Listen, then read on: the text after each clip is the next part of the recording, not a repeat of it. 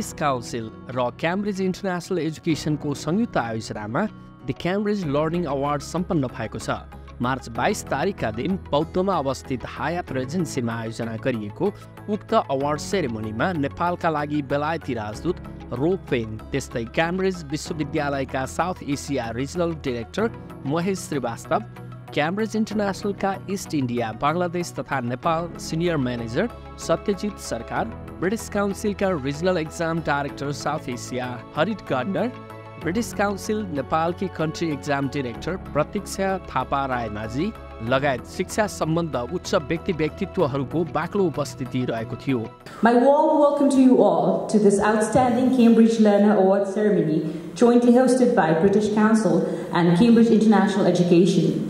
To recognize the achievements of the November 2022 and June 2023 Cambridge Examination Series. The British Council Nepal is a reputable institution known for its commitment to promoting cultural exchange, education, and language proficiency. As a part of the Global British Council network, for the last 65 years, British Council in Nepal has played a pivotal role in fostering educational opportunities and enhancing mutual understanding between Nepal and the UK.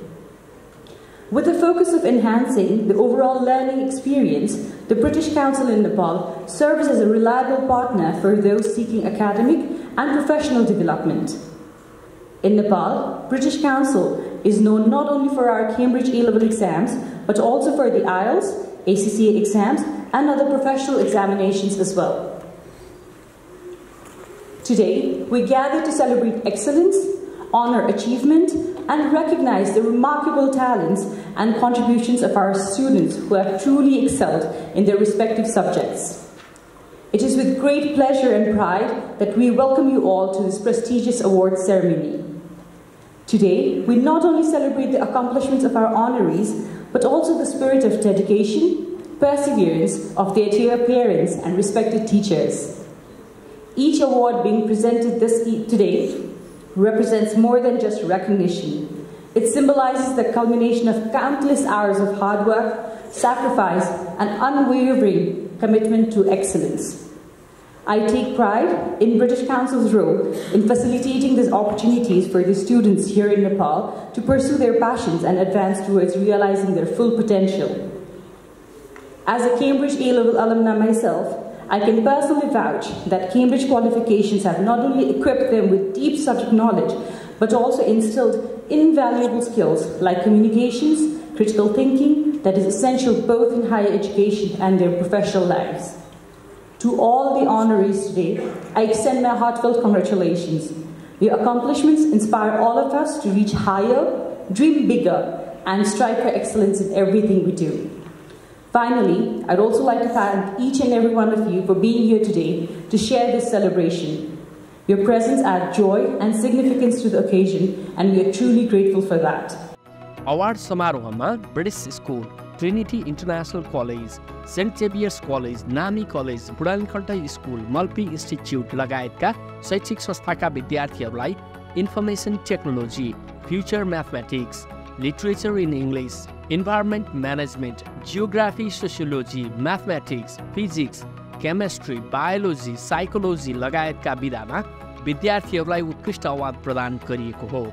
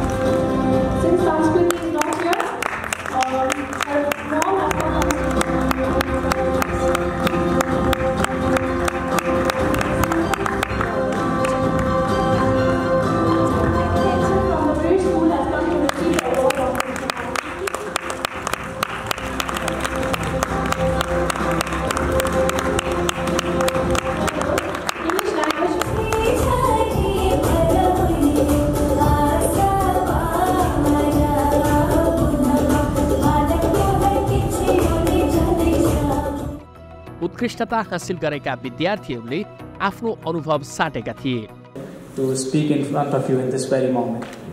Ladies and gentlemen, I want you to picture a young child in his father's office staring at the heaps of documents organized in intimidating piles. Quite understandably, whatever the office was used for was probably not too appealing to the child. A young me faced a very similar situation. My father's office was used for the purpose of reviewing documents of various businesses and corporations. A law firm is what it was. And that is where I was first exposed to the world of businesses and their sustenance. Though my relationship with the subject did not exactly start like a romance novel, over my experience of indirect exposure to the field, I developed a fascination for the subject. The interactions of theoretical strategies with the practicalities of the market, a beautiful dance that I was able to begin comprehending as I expanded my knowledge. In that regard, I would like to thank Cambridge Curriculum as it allowed me to pick an assortment of subjects that allowed me to meaningfully engage with each and every one of them in a way that I was able to pursue the internal drive I had to a significant degree without limiting my horizons too much too early. Next, I would like to thank Ms. Nirjala Poder, Mr. Roshan Kumar Chaudhary, and Mr. Ramesh Nadawari, my teachers, for helping me and navigate through the complexities of uh, these subjects. Without them, I don't think I would be able to study as effectively as I did, which is a large part of why I'm standing here today. It was because of them that I was able to walk a well paved road instead of having to dig an entirely new one. So, thank you, respected teachers. I will always be grateful for the unwavering support you have given me. Now, what I would like to say is do not just study your subject matters, learn them and make them your lifestyle. You need to respect your subjects. That is exactly what I did during my preparations. Dedication, perseverance, and hard work are the things that bring you success. As I end my speech, I would like to thank Budhanilkantha School for giving me a, a, friendly environment to study in, my friends for always motivating me towards my ambitions, and lastly, my family for always being there. Thank you, everyone. Thank you so much. First, I'd like to thank my parents who believed in me and supported my choice to pursue A levels far from my home and far from them. And then I'd like to thank my teachers who, through their continued effort and dedication, uh, made my transition from secondary school to A levels really fun and so seamless. And I'd like to thank Trinity, the college, which not only made my two years of schooling so integral and interesting, but also so formative for my personal growth and character. Interestingly, I was here on the stage last year too, not as an awardee, but uh, as a part of a dance troupe. And I remember sitting in this program so in awe of the seniors who were awarded before me. And I called my mother back home and I told her I had hope to be in their place someday. I don't think I quite believed that I was capable of it. Luckily, my teachers and my parents believed in it enough, and they always encouraged me to set high goals and have faith that through hard work and dedication they were attainable. Um, my uh, two years of schooling in Trinity was full of encouragement like this. I think academic success fosters uh, in an environment where a class uh, ensures that the students not only understand the topics that they're learning about, but also deeply care about them. I think my teachers and Cambridge education it achieves that really well. Um, I felt a sense of belonging in my class. In class discussions, uh, as ridiculous as it sounds, I felt like I was part of something bigger than myself, a part of the bigger scientific community who use their understanding to form new breakthroughs and to reach new horizons. And in A levels, every subject is an immersive experience of its own, and and our classes were interactive, and I was always inspired by the care and effort that their teachers put into making sure that the students understood and cared about what they were learning. I'm really glad I got to experience a learning environment like that. कार्यक्रममा British काउन्सिलका regional exam director South एसिया हारिट गार्डनरले नेपाल तथा अन्य देशहरूमा रहेका आफ्ना partner सङ्घ संस्थाहरूमा Cambridge international एजुकेसनले गुणस्तरीय सेवा सुविधा प्रदान गर्दै आइरहेको धारणा व्यक्त गर्नुभयो साथै आगामी दिनहरूमा पनि आफ्नो सेवा सुविधालाई थप गुणस्तरीय बनाउँदै अगाडि लैजाने धारणा समेत व्यक्त गर्नुभयो It's really fantastic to be here present today in Nepal to attend the Outstanding Cambridge Learner Awards.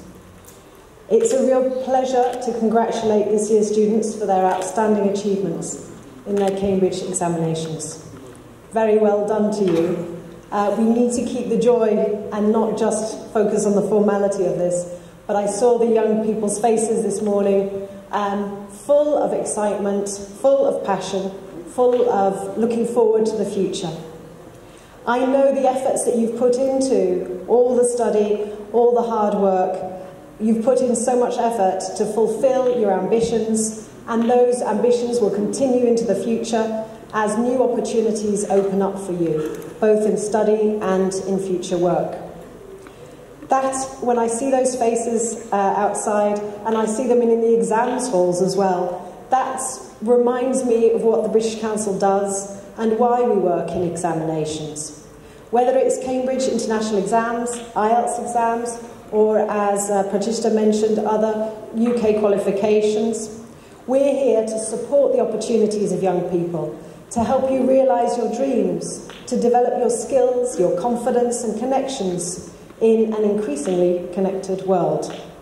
I hear of students going to the US, to, the, to Australia, to the UK. Obviously, we're a bit more keen on the UK, or I personally am a bit more keen on the UK, but it's your choice to decide where you want to live and study and work in the future. As many of you know, the British Council's purpose is to support peace and prosperity around the world by building connections, understanding, and trust between people in the UK and in countries worldwide. We work in education, in English, and the arts, connecting people. And this word connecting is really crucial to our work. We're connecting people in over 200 countries with the UK and beyond. We were set up in 1934 at a time um, of great difficulty, economic depression, political extremism in some countries.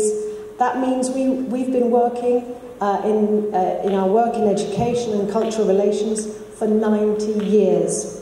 And that situation that we saw 90 years ago has some echoes into the current day, where we want to keep saying Let's talk together, let's connect together, let's understand each other across different political divides, across different countries, to be a, a more peaceful world. In Nepal, we've been working here for 65 years. We've been creating opportunities um, to help transform the lives of young people in Nepal. At a strategic level, we work with the government of Nepal through multiple interventions at provincial and local levels to help improve the overall education quality in the country. We also work closely with schools and are delighted to offer a range of services to improve the ex experience for young people, making sure that they are able to get the best of what Rob mentioned in the video, to improve skills, knowledge, uh, and abilities that will be really practical for the future. We offer lots of support through teacher training online and face to face, we offer access to conferences, to competitions, uh, and, and increasing work around educational excellence. How do we make sure that the schools and teachers that we work with are able to give the best possible um, educational experience to young people? We're very proud to partner with Cambridge International Education in Nepal and many other countries. Through our collaboration, we help deliver highly valued, internationally recognised qualifications that open doors and opportunities for thousands of young people across Nepal and beyond. So I'd like to commend the hard work undertaken by the schools. You schools uh, here, you must feel so proud. Teachers uh, who put in a lot of effort to help young people uh, deliver the absolute best they can. And parents, I spoke to some proud parents this morning. You, you deserve to brag, you deserve to feel proud, today and, and in the coming years, I'm sure. You have done so much work to motivate young people who, in today's world, can be distracted, can feel overwhelmed. You've supported them, you've helped them achieve their goals. And young people, you've done the work. Um, this is a day to celebrate. Congratulations. So a huge thank you to parents uh, and to teachers and to the young people who've done so much work to choose the A-levels, to uh, be successful today and I'm sure into the future as well. Thank you very much. Congratulations. Today is your day. कार्यक्रममा British council र Cambridge international एजुकेसनको तर्फबाट गुणस्तरीय शिक्षाको प्रत्याभूति दिइने खालका उत्प्रेरणात्मक मन्तव्यहरू व्यक्त गरिएको थियो And the fact that these amazing students are choosing the Cambridge path uh, is a brilliant connection all by itself. Um, it's part of a very long relationship uh, between the UK and Nepal. Uh, we famously celebrated 100 years since our Treaty of Friendship was signed uh, on the 21st of December 1923. Uh, before that, we celebrated a few years back uh, the 200th anniversary of the relations between our countries. Um, the British Council is, of course, celebrating 65 years, but we heard that uh, it had been uh, very active um, for 90 years. Um, and I wanted to tell a very short anecdote, uh, which was my own encounter with that. Um, I was hanging out with the um, Association of uh, uh, Nepali uh, British uh, uh, degree holders in, in, in, Nepal, and we were talking about the 100 years of friendship. And, and they told me that two of their alumni uh, were 100 years old. And I said, Well, I would like to meet them, please. Um, and one of them was Dr. Dao, uh, uh, Dr. Das, sorry, Dr. Das, and he was an amazing man, 100 years young. Uh, he had left Nepal uh, for the UK to study medicine. Uh, before you could leave Nepal by air, he had to kind of trek to Calcutta, get on a boat, uh, travelled to the UK. Uh, took him uh, under 20 days. Uh, I think about 16 days. He arrived at Tilbury Docks, and who was there to meet him but the British Council? Uh, the British Council took him into his studies in the UK. He aced them all. he wanted to rush back to Nepal to effectively found um, medical policy in this country. Uh, uh, but he ran into something called the Suez Canal crisis, and he had to go all the way around Africa uh, on the way home, and it took him 40 days. And he had what was very clearly um, a torrid affair with an Indian lady who uh, danced to his pipe. And um, I j- just have this kind of story told to you by a hundred year old man, all sparkling. Uh, it was wonderful and just reminded me that um, this friendship of ours uh, has been going on for a very long time. Um, Last night I had a wonderful evening with the Nepal Britain Society. Uh, they include uh, some of the people who have been personally involved in our relationship uh, for many, many years. I think I was probably the youngest person in the room. Uh, I am 61 years old. Um, and uh, I was surrounded by former ambassadors to London uh, from Nepal. Uh, and uh, it reminded me that um, our friendship goes back a long way. Um, but we also talked very seriously about whether that friendship uh, is alive and well at your age group. I'm talking to uh, our A level uh, heroes here. Um, I think at the Nepali end it is. Uh, I think in the UK end, I go by my own children, one of whom graduates from Warwick University in July. Uh, the other, who has just uh, started studying at the other place, I, I won't name it, um, and uh, their friends on campus, they, Nepal is a bit nebulous to them. Uh, kids have short attention spans, they have the whole world at their fingertips. Um, why should they uh, really wrap their heads around why the UK Nepal relationship is so special. Uh, we have work to do there. Uh, so, if I may, as a personal favour, I would like to enlist your support uh, in making friends in the UK, uh, telling those people uh, the wonderful story of the friendship between our countries. Let's keep this special thing young.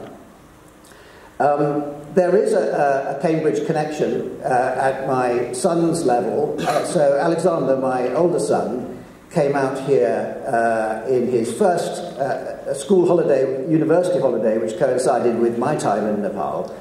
And um, he volunteered as a teacher in Helambu Valley. He went to a village called Tar, uh, and there he struggled with 60 kids um, uh, with whom he had no single word in common. Uh, the only thing they really had in common was a tennis ball, which he had taken with him, and he used to throw it around the classroom, and it, it generated some kind of interaction. Um, the other kid who was with my son was from Cambridge, and this was part of a, uh, a network of um, Cambridge connections uh, with Helambu Valley. Um, and so young Cambridge people have been coming to Nepal for quite a while uh, to do this volunteer teaching or teacher's assistant. Uh, we need more of that. Um, the other thing we need more of is um, what you've been doing, which is what I call transnational education. It is the most fantastic thing. Uh, it is a complete win-win uh, for both ends of the relationship. Uh, yesterday I called on Nepal's new Minister of Education. We talked about many things, but uh, including about transnational education. And in her we have a, a new fan uh, for what you've been doing. So you've got top cover. Um, I would just say to end, before we give the stage to the real heroes, that uh, stay connected, uh, to end on that word. Uh, your country needs you. Uh, it, is, it is quite true what the, the, the Cambridge Pathway slogan um, says to us. You are now ready for the world. A lot of you will go out into this world. Some of you may never come back to Nepal. Uh, but I hope most of you will, and I hope all of you will stay connected with Nepal. Uh, your country needs you. Uh, it's an old slogan, but it is absolutely true right now. Uh, stay connected with this country. Help us build uh, a brighter future for Nepal. Uh, help us ensure that the next 100 years of friendship are even better than the last one. Thank you leaders and the parents. Can we clap for them, all the students?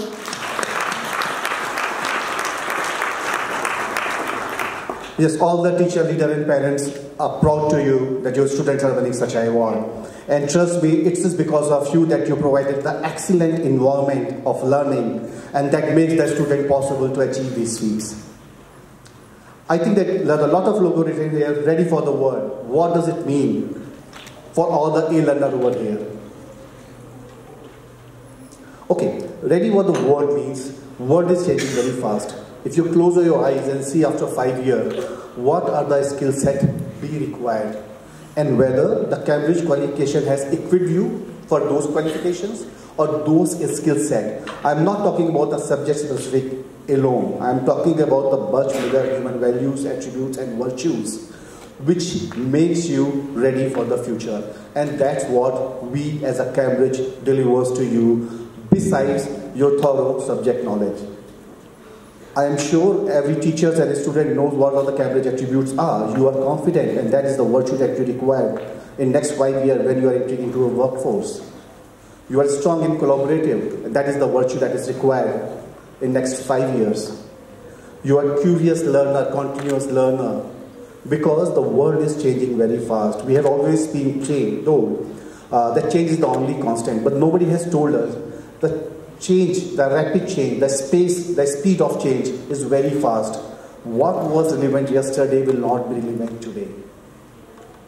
Do we teach our kids hunting nowadays? No. I think that we have learned driving, but imagine 20 years, do we need driving as a skill set? Probably those skill set has gone. Similarly, in your workspace, we are using a lot of Word, Excel, PowerPoint. Do you think that after 20 years those things will be relevant? Probably no.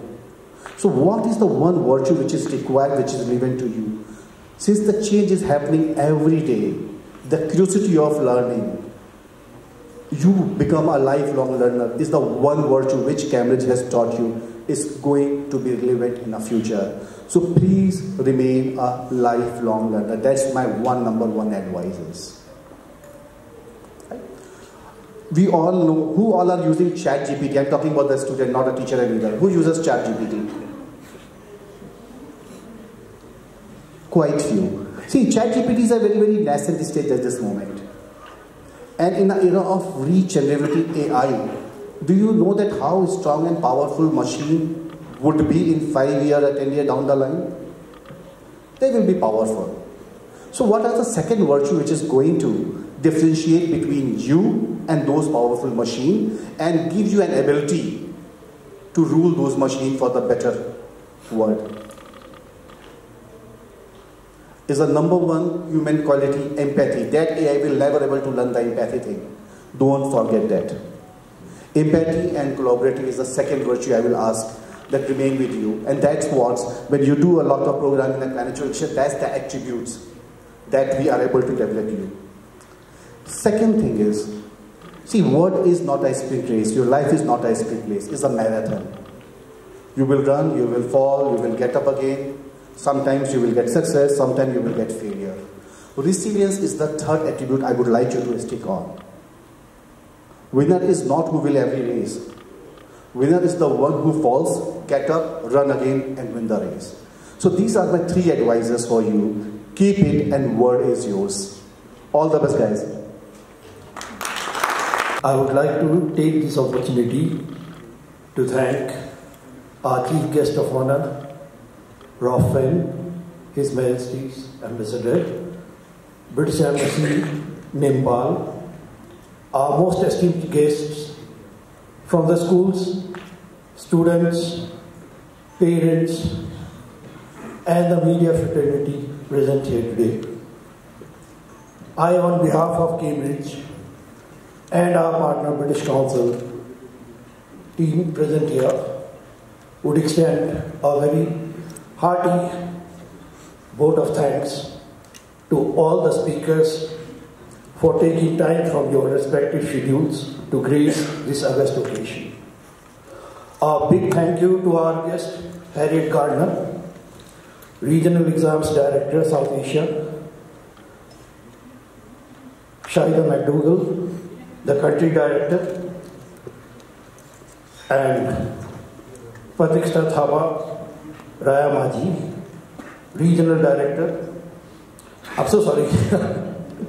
uh, Country Exams Director, Nepal, and my colleague Mahesh Srivastava, Regional Director, Cambridge International, South Asia, for that inspiring and motivational talk.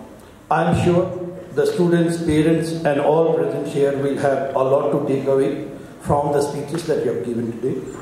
We are all inspired by your great words. I want to thank both the students from Buddha School and the Trinity International College who shared their experiences and their journey with us today. Also extend my thanks to the students who showed their great skills with the beautiful cultural performances from St. Xavier's College and Kathmandu World School. Today's event. Well, Chief Guest of Honor, ladies and gentlemen, an event like this cannot happen overnight. We'll start rolling months ago. It requires planning and bird's eye for details. We have been fortunate enough to be backed by a team of very motivated, dedicated colleagues from both British Council, Nepal, ably led by Pratiksha Thapa Rayamajhi, and well supported by Krishna Kansakar, Julian Pradhan, and other colleagues from British Council Nepal, and also from Cambridge International, Gaurav, Kamal, and our media partner U-Turn for organizing this event, who knew their job very well, and this event would not have been possible without the cooperation from each one of them. Our guest of honor, ladies and gentlemen, once again, I want to state that we are most grateful to you all. We thank you for being with us today. It's been an honor. It's been a great pleasure. Thank you sir, very much. Lastly, we request all of you to please join us for the photo session, followed by the lunch. Thank you once again. Thank you.